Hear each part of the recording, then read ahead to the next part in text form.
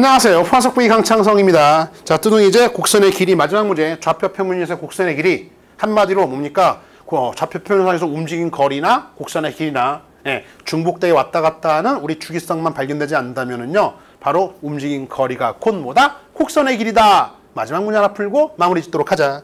문제 x는 lnt예요. 이제 바로 쓸까?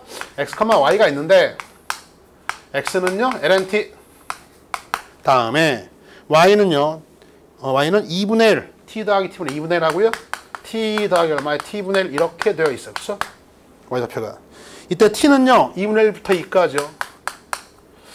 이때 이 곡선의 길이를 묻고 있습니다. 이렇게 움직일 때 t가 이렇게 변하고 있을 때 이때 곡선의 길이 구하라. 주목. 봤더니 이 범위에서 체크를 해줘야 돼. 체크는. 이건 당연히 주기함수가 아니죠. 그렇죠? LNT는 뭐 계속 증가하고 있어요. 단조 증가함수이기 때문에 X좌표가 다시 뭐 왔다 갔다 와리 갈 일이 없어. 그렇지? 그러니까 어떻게 얘는요. 예. 그냥 곧 운동 방향이 계속 예, 증가하고 있으니까는요. 한쪽 방향으로 진행하고 있는 것이고 따라서 한 방에 슉 움직인 움직인 거리가 곧 이 시간만큼 움직인 거리가 곧 이만큼의 곡선의 길이다. 이해 갔어요? 같은 내용이라니까. 따라서 움직인 거리 풀었던 거 그대로 풀면 되겠다. 뭘 구할까? 속력 구한다. 속도 벡터는 다음과 같아요. 속도는요. 미분합니다. t분의 1이죠.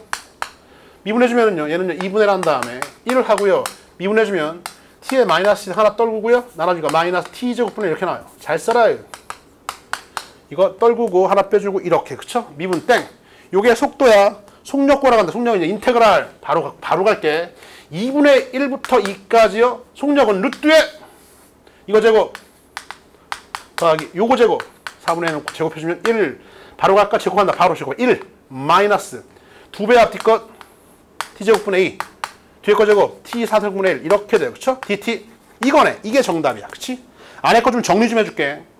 얘는요 정리해주면 요런만 봐봐 요런만 루트 안에 것만 4t 4승분의 1하고 잘 쓰세요 다음에 얘는 마이너스 2부, 2t제곱분의 1인데 여기 t제곱분의 1 있으니까 플러스 얼마니까 2t제곱분의 1이요 얘는 2t제곱분의 2 얘는 2t제곱분의 1 이렇게 남아요 플러스 얼마 4분의 1 이게 지금 루트 안에 있는 놈이야 봤더니 음 보여 보여? 봐야 되는 얘는요 2하고요 제곱의 제곱 이렇게 그쵸? 얘는요 2분의 1 얼마니까 제곱해서요.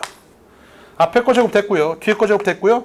두 배 앞뒤 것 요거 곱해준 다음에 두 배 주면요. 2t 제곱분의 여기 있잖아. 됐네요. 그쵸? 따라서 저 루트 안에 있는 놈이 사실은 뭐냐면 이거야. 2t 제곱분의 1 하고요. 더하기 얼마? 2분의 1에 완전 제곱이 바로 저 루트 안에 있는 놈이다. 따라 이거 이거 날리면은요. 날리면 어떻게 절대값 나오는데 t가 2분의 1하고 2니까 다 양수들이네. 결론적으로 요놈은요. 마무리! 2분의 1부터 2까지요. 누가 요 놈이 그냥 기어나오는데 루트 제곱 탈출하고 요 놈이 나온다.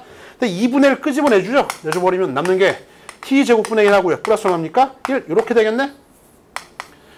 요 놈이 정답이 되겠습니다. 요 놈이 정답. 마지막 산수. 얘는요.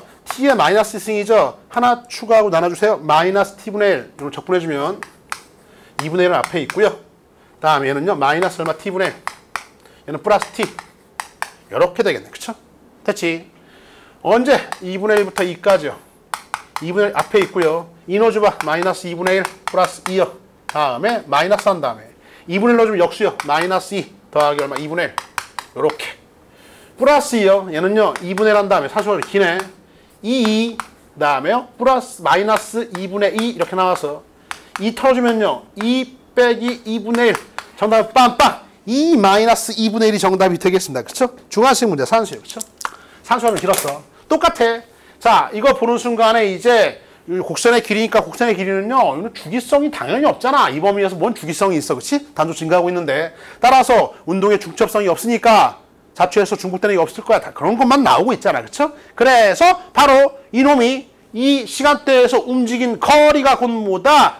해당하는 곡선의 길이다. 라는 걸 알고 있다면 우리가 속력 구한 다음에 속력을 해당 구간 시간대에서의 정적 부분 잘 산수해주면은요 움직인 거리 곧 오다 곡선의 길이를 구할 수 있을 것이다. 이번 강의는 여기까지입니다.